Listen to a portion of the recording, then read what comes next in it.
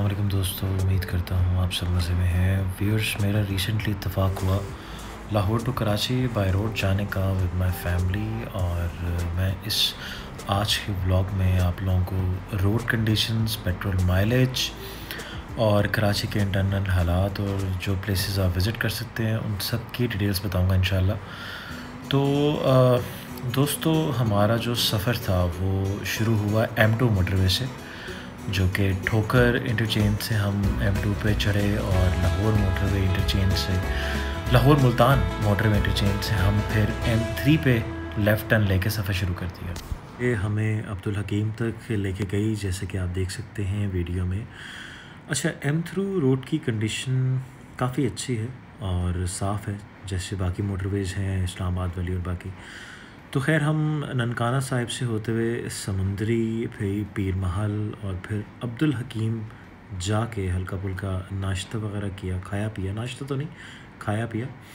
अच्छा यहाँ पर मैं एक मशवरा देता चलूँ कि एम थ्री पे काफ़ी रेस्ट एरियाज़ या स्टॉप्स नहीं हैं, जहाँ आप कुछ मतलब जहाँ आप कुछ रुक के ख़रीद सकें या रिलैक्स कर सकें, इसलिए बेहतर है कि आप लोगों ने अपने साथ खाने पीने का सामान ज़रूर रखना है और पेट्रोल फुल टैंकी भरवाना ना भूलिएगा। अच्छा दोस्तों, मैं जो गाड़ी यूज़ कर रहा था, वो वैगना 2019 मॉडल थी और मेरा अब्दुल करीम अब्दुल हकीम तक रुपीज़ ट्वेंटी नाइन हंड्रेड, उनतीस सौ रुपये का पेट्रोल लगा था। एम थ्री से एम फोर हमारा सफ़र अब्दुल हकीम से निकलते हुए शुरू हुआ और जो कि ख़त्म हुआ मुल्तान के करीब शेरशाह इंटरचेंज। क्योंकि वहाँ से हमने एम फाइव पे चुना था। जैसे कि आप देख सकते हैं, हम वीडियो में एम फाइव पे सात का बात के करीब थे और हमने सोचा कि क्यों ना पंजाब सिंध बॉर्डर पे पेट पूजा की जाए। जैसे कि आप वीडियो में देख सकते हैं, पराठा, चाय और अंडा वगैरह था। और यकीन करें, बड़ा मज़ेदार सा पंजाब सिंध बॉर्डर पे नाश्ता और पेट पूजा की। अच्छा दोस्तों, अगर आप फर्दर वीडियो में देखें तो सखर जो था वो तकरीबन 39 किलोमीटर रह गया था और अब हम मोटरवे से जल्द उतरने वाले थे और उसके बाद हमें सही मायनों में यकीन करें, फ़र्क पता चला सुपर हाईवे और मोटरवे के दरमियान। वैसे सुपर हाईवे जीटी रोड पे सफ़र करने का अलग ही मज़ा है। जैसे कि वीडियो में देखें तो लाड़काना हमारे लेफ़्ट पे था। मोरो हमसे 113 किलोमीटर और हैदराबाद तकरीबन 270 किलोमीटर था। अच्छा दोस्तों, सखर से हैदराबाद का सफ़र काफ़ी ज़्यादा है और सुपर हाईवे की वजह से आप जहन में एटलीस्ट पाँच घंटे रखें। और एक और बहुत ज़रूरी इन्फॉर्मेशन कि शकर से हैदराबाद दो रोड्स जाती हैं। एन फाइव और एन फिफ्टी फाइव मेरा दोनों पे एक्सपीरियंस हुआ। हाँ एन फिफ्टी फाइव काफ़ी लंबी है, लेकिन साफ़ है और एन फाइव ज़रा टाइम टेकन है, लेकिन ट्रैफ़िक की वजह से आप लेट हो जाते हो उसमें। अच्छा दोस्तों, साथ ही मैंने सोचा कि आपको ट्रैफ़िक का हाल दिखाया जाए। ये मैं एन फाइव पे था और उसके बाद मैंने हैदराबाद पे टर्न लिया और हैदराबाद से कराची। जैसे कि आप पीछे देख सकते हैं कि वीडियो में क्लिफ्टन बीच है और ये क्लिफ्टन मेन बीच है। अब यहाँ पर काफ़ी चेंजेस हो चुकी हैं। पहले आप समुद्र के अंदर जा भी सकते थे और एक बड़ा खूबसूरत सा बीच टाइप बना था, लेकिन अब इन्होंने दीवार बना दी। तो अब अनफॉर्चुनेटली आप जा नहीं सकते, लेकिन थोड़ा सा अगर आपने लहरों का मज़ा लेना है तो ये कुछ मेरी पिक्चर्स वहाँ पर लहरों के सामने।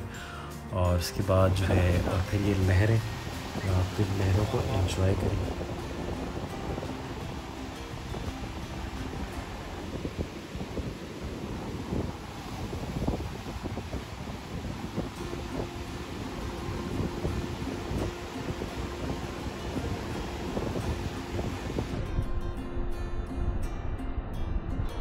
अच्छा व्यूअर्स अब डिस्कस कर लेते हैं कि कहाँ कहाँ जाने का इतफ़ाक़ हुआ। तो मेरा इतफ़ाक़ बोट बेसन बंस रोड उसके अलावा ड्रिक कॉलोनी शाह फैसल कॉलोनी और इन जगहों पे जाने का इतफाक़ हुआ। जैसे कि आप वीडियो में देख सकते हैं बेट बोट बेसन की मशहूर फ़िश उसके बाद वहीद के बाबी क्यू बंस रोड का और उन, उनका काफ़ी मज़ेदार बारबी क्यू था। बड़ा अलग सा टेस्ट था और ऐसा नहीं लग रहा था जैसे बारबी क्यू खा रहे मतलब बहुत ही सॉफ्ट जो है वो मीट था और ऐसा लग था ज़बान पे लिटरली पिघल रहा हो।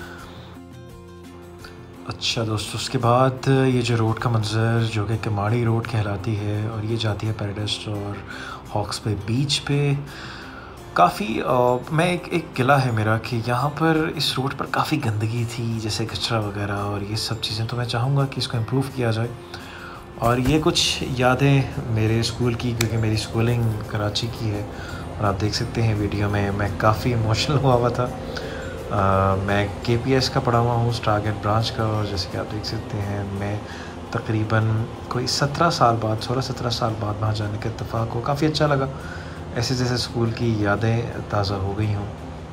अच्छा जी तो नेक्स्ट आप देख सकते हैं ब्रिक रोड जंक्शन जो कि फैसल बेस के पास है।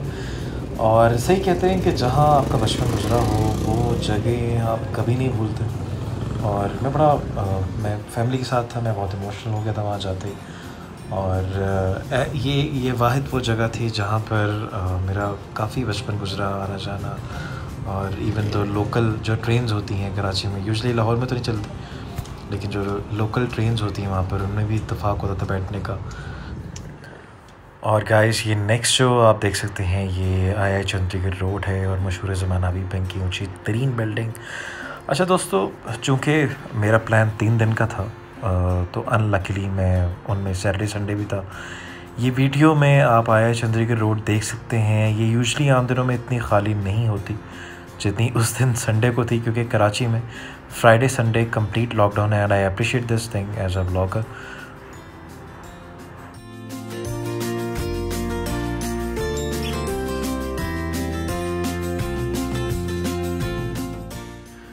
ये नेक्स्ट दोस्तों, आपके सामने कुछ खाने की तस्वीर आ रही होंगी। ये क्लिफ्टन के पास clock tower the food bazaar है। प्लेस एक एक रेस्टोरेंट टाइप है। जहाँ से एक तो व्यू भी बहुत मज़े का था और इनका खाना भी बहुत मज़े का था। पास्ता और स्टेक ज़रूर ट्राई कीजिएगा। बहुत लजीज था। जैसे कि आप देख सकते हैं, एक पान शॉप है आपके सामने, जिसका नाम है शाह पान शॉप और इनसे मैंने ख़ास रिक्वेस्ट की थी कि मैं आपका नाम अपने व्लॉग में लेना चाहूँगा। और ये गुलिस्तान, जौहर में लोकेटेड है। दोस्तों, देखें, अगर तो आप पान का शौक़ रखते हैं और उसको ट्राई भी करना चाहते हैं, ख़ासतौर पर अगर आप लाहौर या इस्लामाबाद से जा रहे हैं तो ज़रूर ट्राई कीजिएगा। हर तरह के फ्लेवर्स हैं उनके पास। अच्छा गाइस इस वीडियो को मैंने ज़रूर ऐड करना चाहा, क्योंकि मेरा सवाल है सिंध गवर्नमेंट से कि ये जो आप देख सकते हैं, रोड पे सफ़ाई सुथराई का क्या हाल है और हाल, बेहाल हुआ है तो इसलिए मेरा ये एक सवालिया निशान है कि उन लोगों के लिए जो कि वहाँ की गवर्नमेंट है कि ये एक मसरूफ़ तरीन रोड पे क्या हो रहा है यहाँ पर। तो I think they should take actions मैं मैं अपील करता हूँ ओपन में अपील करता हूँ मैं सिंध गवर्नमेंट को कि ये शहर बहुत खूबसूरत है, इसको मज़ीद और खूबसूरत बनाइए। This could be one of the most important city जो कि जैसे कि हमारे यहाँ पर एक्सपोर्ट इम्पोर्ट भी यहीं से होती है। तो इसलिए इसको बेहतर बनाइए और रोड्स को जितना हो सके इम्प्रूव करें। हमारा पाकिस्तान बहुत खूबसूरत है। मैं जैसे कि पहले ही बताता रहा हूँ, जब मैं पहाड़ी इलाकों में जाता हूँ, जैसे कि नॉर्दर्न एरियाज़ में हमारा पाकिस्तान काफ़ी खूबसूरत है। अगर हम इसको मज़ीद और ख़ूबसूरत बनाएँ तो हम टूरिज़म को काफ़ी प्रमोट कर सकते हैं। अच्छा दोस्तों नेक्स्ट फुटेज आप देख सकते हैं। कुछ इन्फॉर्मेशन आपके सामने आ रही होगी।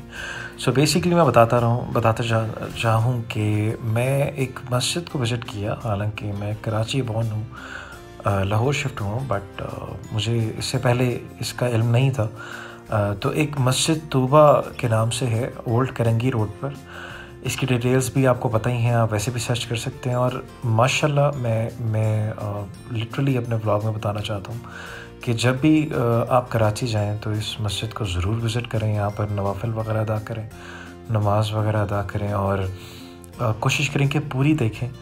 और ये एक वाहिद मस्जिद है जो सिंगल गुंबद पे है। जैसे कि आप पीछे वीडियो में भी देख सकते हैं और कुछ अंदर के भी फुटेजेस मैंने लिए थे।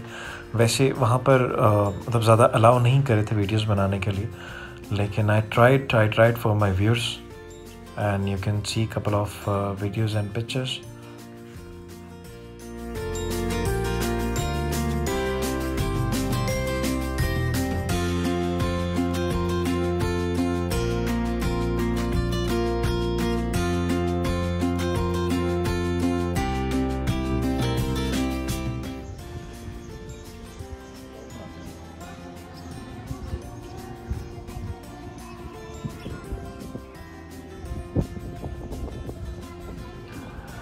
last but not least मैं चूँकि बिरयानी फ़ैन हूँ और ख़ास तौर पर uh, लाहौरी अगर बुरा ना माने तो उन वो सिर्फ़ पुलाव बना सकते हैं या बनाते हैं।